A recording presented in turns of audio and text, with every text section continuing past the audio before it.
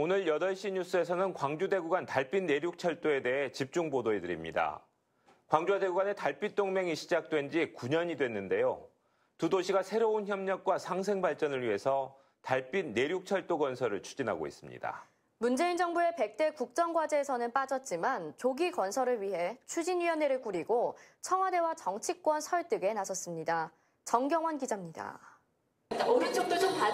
광주와 대구가 달빛 내륙철도 조기 건설을 위해 손을 맞잡았습니다.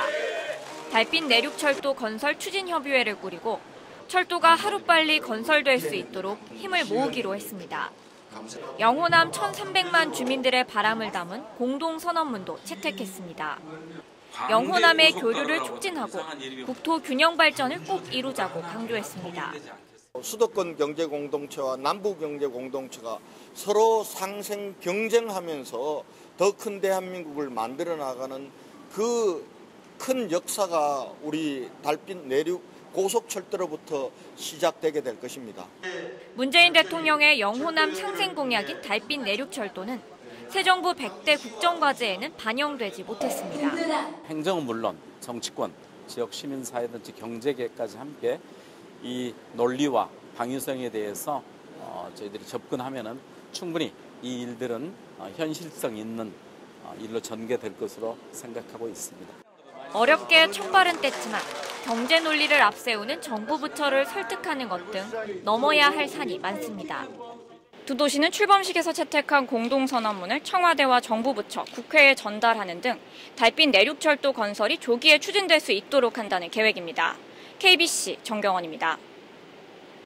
그러면 광주 대구 간 달빛 내륙 철도에 대해서 좀 더 자세히 살펴보겠습니다. 달빛 내륙 철도는 대구와 광주의 별칭인 달구벌과 빛고울의 첫 글자를 딴 건데 총 연장 191.6km에 사업비만 6조 원이 넘게 들어가는 대규모 역사입니다. 계속해서 강동일 기자입니다.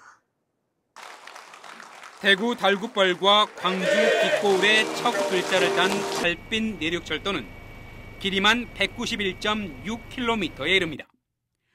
광주 송정역을 시작으로 광주역을 거쳐 담양과 전북 순창 남원 그리고 경남 함양과 거창 해인사를 경유해 대구로 이어집니다.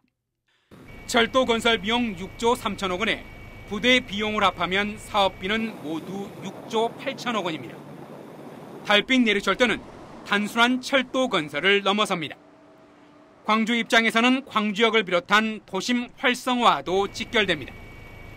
역 기능을 잃어가는 광주역을 지하화하고 송정역과 광주역 구간은 땅 밑으로 지나가게 합니다.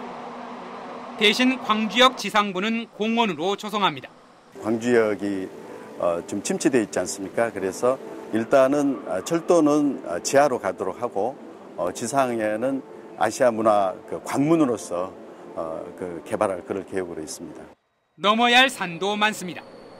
먼저 지난 2016년 수정된 제3차 국가철도망 구축 계획을 다시 바꿔야 합니다. 3차 그 국가철도망 건설 계획으로 추가 사업으로 이렇게 작년까지는 되어 있었습니다. 근데 이거를 이제 이번 그 달빛 동맹을 계기로 해서 4차 그 국가철도망 사업 계획에 본격적으로 반영할 그럴 계획으로 했습니다. 광주 대구 달빛 내륙철도는 계획대로 추진되면 2025년 완공됩니다. KBC 강동일입니다. 달빛 내륙철도가 개통되면 많은 변화가 예상됩니다. 우선 광주 대구를 1시간 안에 오갈 수 있게 되면서 명실상부한 이웃사촌이 됩니다. 또 물류 비용이 줄고 교류가 활성화되면서 경제 활성화 등 두 지역 간 상생 발전의 전기가 될 것으로 기대됩니다. 임소영 기자입니다. 달빛 내륙철도는 광주와 대구를 1시간 안에 연결합니다. 평균 1시간 50분이 걸리는 고속도로에 비해 이동 시간이 절반 가까이 줄게 됩니다. 광주와 대구 등 9개 자치단체를 지나면서 577만여 명이 혜택을 볼 수 있습니다. 여객뿐 아니라 화물의 이동도 늘어나게 됩니다. 2012년 한국교통연구원은 달빛 내륙철도가 건설되면 2021년 하루 만 명 넘게 이용하고 화물도 4,700톤이 오갈 것으로 전망했습니다.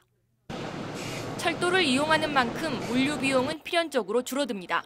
철도를 이용한 물류 비용은 도로의 약 절반이고 환경 친화적인 장점이 있습니다. 향후 철도 시대에 대비해 광주 대구 내륙 철도는 반드시 필요하며 달빛 내륙 철도가 광주역을 지난다면 광주역 활성화도 이끌어낼 수 있습니다. 대구 역시 서부권에 집중된 국가 산단 활성화 효과를 기대하고 있습니다. 양 지역 기업들의 활발한 교류가 이어진다면 산업갑, 융복합을 통한 시너지 효과로 지역 경제 활성화에도 큰 도움이 될 것입니다. 남북 중심이었던 철도망이 동서축까지 연결되며 지역 감정으로 양분됐던 영후남의 화합도 이끌어낼 수 있을 것으로 보입니다. KBC 임소영입니다. 앞서도 말씀드렸지만 광주시와 대구시가 달빛 동맹이란 이름으로 처음 교류를 시작한 게 지난 2009년이었습니다. 영원한 화합을 위해서 단순 문화 교류로 시작했던 것이 어느덧 공동 추진 사업이 30가지에 달합니다. 이제는 더 나은 미래를 위해 4차 산업혁명 시대를 두 도시가 함께 대비하고 있습니다. 계속해서 정지용 기자입니다. 광주와 대구는 모두 내륙에 자리한 광역도시란 공통점이 있습니다.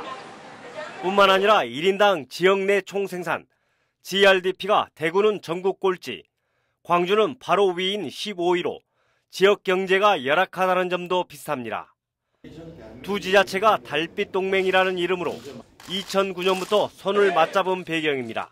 경제적 어려움에 저 대응하기 위해서 어, 광주와 대구가 어, 각그 지역이 가지고 있는 어, 장점을 어, 서로 상호적으로 이제 보완하면서 어, 수도권 일국화에 대응하는 공동으로 추진하는 사업만 30가지, 신재생 에너지 육성 등 4가지 대형 사업 예산이 6조 3천억 원, 올해 교류협력 사업비만 7억 원 규모입니다. 매년 광주시장은 228 대구 민주운동 기념식에, 대구시장은 5.18 광주 민주화운동 기념식에 참석하고 박람회 등 행사에는 달빛 동맹관을 따로 마련해 협력의 기반을 다져왔습니다. 특히 두 도시 모두 군공항을 가지고 있는 만큼 군공항의 조기 이전을 위해 힘을 모으고 있습니다. 공통적으로 육성하는 미래형 자동차와 3D 융합 산업 등 핵심 산업은 경쟁하고 또 협력하며 함께 4차 산업혁명 시대를 준비하고 있습니다. 경제 분야에서는 3D, 3D 산업 육성랄까 또 신재생 에너지 분야 그리고 이제 친환경 자동차 부품이나 이런 분야에 저희들이 이제 서로 교류가 있고요. 특히 이제 사회적 경제 쪽에서도 많은 교류가 이루어지고 있습니다.